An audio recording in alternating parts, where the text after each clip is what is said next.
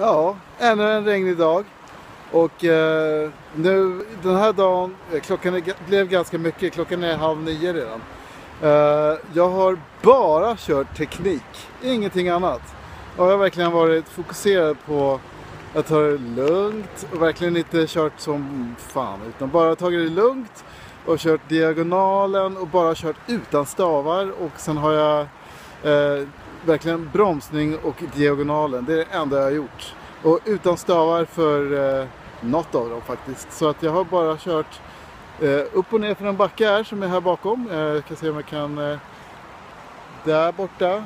Där har vi Tele2-arenan till och med. Och eh, ja, eh, det kändes ganska som att jag... Eh, ja, vad ska man säga? Det är ju bara teknik. Och man, jag tittar på mina svagheter, var, vad jag är svag någonstans och var brister det någonstans. Och sen så försöker jag rätta till det och så, så kör jag lite grann och försiktigt och så. Jag kommer göra några sådana här äh, körningar faktiskt. För att det känns som att det, det ger nog ganska mycket att, att bara titta på tekniken då och då. Och inte bara köra, köra, köra. Utan fokuserat, bara titta på tekniken. Så nu har jag hållit på med det en stund. Så nu ska jag säga godnatt. Och hoppas ni får en trevlig natt ni också. Hej då!